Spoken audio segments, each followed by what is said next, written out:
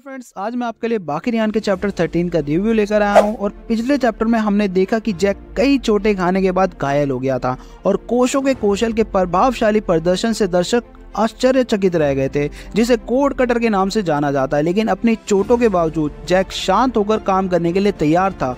और दूसरी ओर हमले का जवाब देने के लिए कोशो भी गंभीर दिख रहा था। इसलिए वो दूसरा हमला करने के लिए तैयार हो जाते हैं और कट्स की सीरीज़ में दर्शक ये देखकर थ्रिल्ड हो गए थे कि कोशो की काली उंगलियाँ और जैक के दांत बहुत घातक हैं और ये तो क्लियर था कि दोनों एक चीज़ से बचने में कामयाब हो रहे थे और वो थे युद्ध के नियम, जिसमें हथियारों के इस्तेमाल पर रोक थी। और अपने अपोनेंट की अगली चाल के लिए लड़ाई मारपीट और लातों की एक सीरीज़ के साथ जारी रहती है, जहाँ दोनों लड़ाके अपने कौशल और शक्ति का प्रदर्शन करते हैं और फिर कोशो सफल होता है जैक के चेहरे पर वार करने में, जिससे उसकी बाई आँख बुरी तरह से प्रभावित हो गई थी।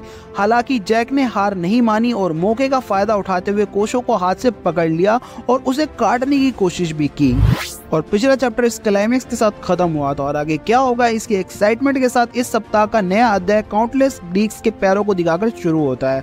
और ये उस दिन के एक महत्वपूर्ण घटना की ओर बढ़ते हुए हमें भव्य ग्रीक के कोलोजियम में आयोजित ओलंपिक खेलों में पहुँचा देता है, जो उन प्राचीन लोगों के लिए बहुत ही महत्वपूर्ण घटना थी। फिर संस्कृति की इस घटना में भीड़ जमा हो गई, जिन्होंने खुशी से तमाशा शुरू किया और दो लोगों को अपने अस्तित्व के लिए लड़ते हुए देखा। ये हर किसी के लिए एक शौक था और मैं देख रहा था कि इस घटना का फोकस ड्यूल की एक सीरीज़ पर था, जिसका उद्देश्य कॉलोजियम में सबसे आउटस्टैंडिंग योद्धाओं को निर्धारित करना था। इसलिए ये एक व्योलन से भरी एक घटना थी, जिसने दर्शकों को मंत्र मुग्ध कर दिया था और वो आश्चर्यचकित होकर अपने पसंदीदा लड़ाकू को एक ताकतवर और विशाल का योद्धा को फटकारते हुए देख रहे थे और अपने अपोनेंट के शरीर के एक हिस्से को काटने के कारण योद्धा ने अपने अपोनेंट की अनुचित रणनीति के प्रति अपना डिस्कम्फर्ट शो किया, जो कभी भी चूक नहीं करता। और उसके काटने से फाइटर ने न केवल घावों का दर्द था बल्कि काफ़ी खून भी बहाया और दर्शक हैरान होकर सवाल करने लगे कि काटने का सहारा लेकर जो कुछ वहाँ हो रहा था,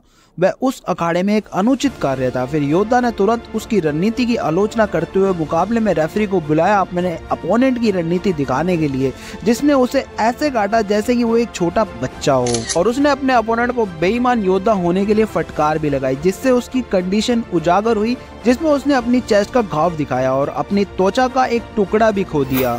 और जजिस ने अनुभव किया कि बुज़ुर्गों के चेहरे पर घबराहट के एक्सप्रेशन आ गए थे। इस कंफ्यूजन की स्थिति के बीच ये सब क्या हो रहा था? फिर उसके अपोनेंट ने उन्हें आश्वासन दिया कि काटना कोई कायरतापूर्ण रणनीति नहीं है और उसका दावा है कि काटना कोई बचकानी हरकत भी नहीं है, बल्कि जीवित रहने का कार्य है, जिसे जंगली जानवर ने भी वॉरियर की तरह अपनाया और फिर घोषणा होती है कि वह एक जंगली जानवर की तरह अपने दांतों का उपयोग करता है और अपने काटने को एक भयंकर शेर के काटने के बराबर मानता है, जो अपने शिकार का शिकार करता है। जिस पर दर्शक इस तरह की कार्रवाई और घोषणा को सुनकर बहुत ही प्रभावित होते हैं। और ये इतिहास में एक इम्पोर्टेंट घटना थी और ये पहली बार था कि लड़ाकू एक ऑफिशियल कंपटीशन में था और इससे पहले की दर्शकों ने युद्ध में हथियार के रूप में अपने दांतों का सहारा लेने को अपनी एक्सेप्टेंस दी, योद्धा हिस्ट्री ऑफ़ ऑफिशियल कॉम्बैट में इस तकनीक का प्रदर्शन करने वाला पहला फाइटर बन जाता है, जो भूमिगत क्षेत्र में वर्तमान में लौट रहा है। और हमें फिर जैक हानमा दिखता है, जो दृष्टि होने के बाद उसकी बाई आँख में कोशों के ट्रेपीजियस मसल में भयंकर काटने से दर्शक और नरेटर दोनों को आश्चर्यचकित कर देता है कि आगे क्या होगा। फिर जैक कोशो को अपने दाहिने हाथ से पकड़कर पूरी तरह से फंसा लेता है, जबकि बाई ओर से वो अपने एक हाथ को स्थिर रखता है और साथ ही उससे कोशो को काटता है। और अब कोशो इस भूखे जानवर की दया पर निर्भर है और ऐसा लगता है कि इससे बचने का कोई रास्ता नहीं है। दर्शक, इस बात की गहराई से प्रभावित हुए कि कैसे एक साधारण हाथ मिलाने से थोड़े ही समय में घटनाओं की एक सीरीज़ शुरू हो गई और बाकी फाइटर्स ने जैक द्वारा चलाकी के इस अविश्वसनीय प्रदर्शन को शौक होकर देखा। और नरेटर ने इस पर प्रकाश डाला कि उनके कल्चर में बाएँ हाथ से मजबूती से हाथ मिलाने को आमतौर पर दोस्ती की मजबूती का प्रतीक मानते हैं। लेकिन जैक ने इस इशारे का इस्तेमाल अपने अपोनेंट की मांसपेशियों को काटने के लिए किया और ये एक अनएक्सपेक्टेड और एक शॉकिंग काम था, जिसमें जैक ने अचानक अपनी गर्दन को तेज़ी से घुमाया और इस तरह अपने दुश्मन की गर्दन का टुकड़ा फाड़ दिया कि जैसे वो कुछ भी ना हो।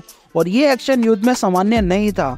फिर हमले में दर्द से प्रभावित कोशो ने अपने ट्रेपीजियस मसल में त्वचा और मांसपेशियों की बहुत बड़ी हानि महसूस की। हालाँकि जैक ने अपना हमला समाप्त कर लिया था और उसने कोशो के बाएँ हाथ पर भी एक मज़बूत पकड़ बना रखी थी, जिसने उसे भागने से रोक रखा था, जिसके बाद जैक ने श्रेष्ठा के एक्सप्रेशन के साथ कोशो को ऊपर से नीचे तक देखा। फिर अपने गंभीर गाव के दर्द से ओवरवेल्म्ड कोशो ने अनएक्सपेक्टेड रूप से ज़मीन की ओर अपनी नज़रें गाड़ दी। फिर जैक ने अपने शरीर को तेज़ी से मोड़ दिया, जिससे कोशो हवा में तेज़ी से घूमने लगा और कौशल के स्पष्ट प्रदर्शन से दर्शक आश्चर्यचकित रह गए। फिर जैक ने मौके का फ़ायदा उठाते हुए इसे लागू कर दिया, जिसके बाद वो लड़ाई खत्म करने के इरादे से गला घोटने की अनुमति लेकर उसकी पीठ पर हाथ फेरने लगा और उसने इस लॉक के साथ उसे बेहोश करने की कोशिश की। फिर डोपर ने कात्सुमी को कमेंट किया कि जैक कितना प्रभावशाली और उसने एक साधारण हाथ मिलाने के साथ उस सीक्वेंस की शुरुआत की, जिससे स्थिति पूरी तरह से नियंत्रण में आ गई है। फिर जैक अपने शक्तिशाली पैरों का यूज़ करके कोशो की कमर को कैद करने के लिए मैदान में लेट गया, जिससे लगता है कोशो उसकी मज़बूत पकड़ से फ्री होने में असमर्थ है। और नरेटर का सुझाव है कि हम लड़ाई के अंत को अब देख सकते हैं, क्योंकि कोशो अपनी चेतना खो रहा है। और जैक कोचो को गिराने के लिए अपने हाथों और पैरों से दबाव दे रहा है, लेकिन तभी जब ऐसा लगता है कि कोशो अपनी चेतना खो रहा है और चेतना खो चुका है, जैक उसे छोड़ देता है, फिर वो धीरे धीरे खड़ा होता है और कोशो की गर्दन को काटने के पक्के इरादे से मुँह खोलता है, जबकि नरेटर आश्चर्य करता है कि ये क्या हो रहा है। फिर जैक कोशो की गर्दन की ओर लक्ष्य करते हुए अपना सबसे घातक हमला शुरू करता है और दर्शकों को समझ नहीं आता कि जैक ऐसा क्यों कर रहा है। फिर ऐसा लगता है कि इस एडिशनल हमले से पहले ही किए गए लॉक के साथ वो जीत चुका है, जिससे स्पष्ट रूप से बेहोश कोशों के खिलाफ एक और हमले की कोई ज़रूरत नहीं थी। फिर हमले के बाद हवा में बड़ी मात्रा में ब्लड देखा जाता है। इस प्रकार ये दिलचस्प चैप्टर खत्म हो जाता है और बाकी के चैप्टर 14 की घोषणा की जाती है। और अब बाकी का नया चैप्टर थ्री वीक्स के बाद पब्लिश किया जाएगा। दूसरे शब्दों में, मांगा फिर से एक अच्छा ब्रेक लेगी।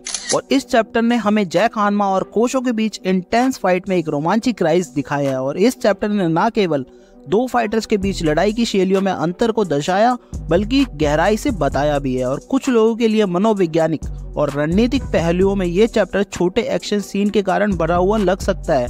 लेकिन ये समझना महत्वपूर्ण है कि ये छोटा एक्सप्लेनेशन है जो इसे अर्थ देता है।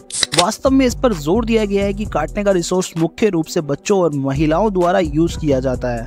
हालाँकि इससे जैक को कोई फ़र्क नहीं पड़ता क्योंकि वह जीतने के लिए कुछ भी करेगा, भले ही वह इसके लिए आधुनिक हो या नहीं। और इस अध्याय की शुरुआत में ही दिखाई देने वाले ग्लैडिएटर ने कहा था कि काटना कोई कायरता नहीं है या कोई बचकानी हरकत, जैसे कि आप अपने लिए किसी विदेशी चीज़ का उपयोग नहीं कर रहे हो। और आखिरकार दांत वो हथियार है जो मनुष्य को नेचर ने आशीर्वाद में दिया है। और जंगली जानवर इस बात का प्रमाण है कि दांत और पंजे लंबे समय तक जीवित रहने के लिए बेसिक है। और ये स्पष्ट हो गया है कि जैक बाकी की तरह नहीं है और वो बाकी फाइटर्स की तरह मोरल कोड का पालन भी नहीं करता। और काटने वाला साइबोक पहले ही एक ऐसे क्षेत्र में प्रवेश कर चुका है, जिसे केवल जंगली जानवर ही जानते हैं।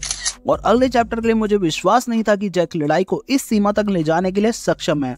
लेकिन अब मैं हैरान हूँ क्योंकि हम जानते हैं कि उस क्षेत्र में एक घाव घातक हो सकता है और अगर कोशों का इलाज जल्दी नहीं किया गया तो उसके लिए अच्छा नहीं होगा। खैर मैं आपके लिए लड़ाई का नतीजा थ्री वीक्स के बाद बताऊँगा। इन लास्ट आप अपने थॉट्स कमेंट बॉक्स में कमेंट करके मुझे ज़रूर बताएँ।